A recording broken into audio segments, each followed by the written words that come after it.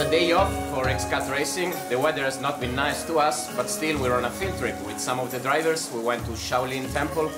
It's the place where uh, uh, Kung Fu is born. It's the place where a lot of monks uh, uh, practice Buddhism.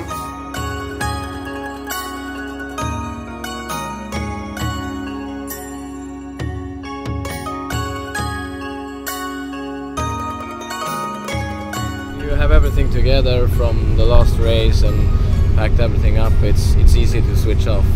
But if you have something to do, then I mean, then it's not easy to just switch off and and uh, have a good day. But we have everything sorted up and everything under control, so for us it's it's easy.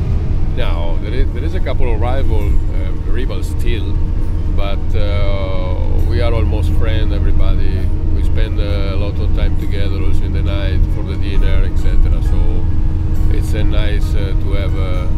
of friends here. My son is uh, one of the youngest in Italy. Received the black belt uh, Kung Fu Shaolin discipline, which is uh, a very important one. So next time you have to take him here. Next year I have to think about. Next year I have to take with me for sure.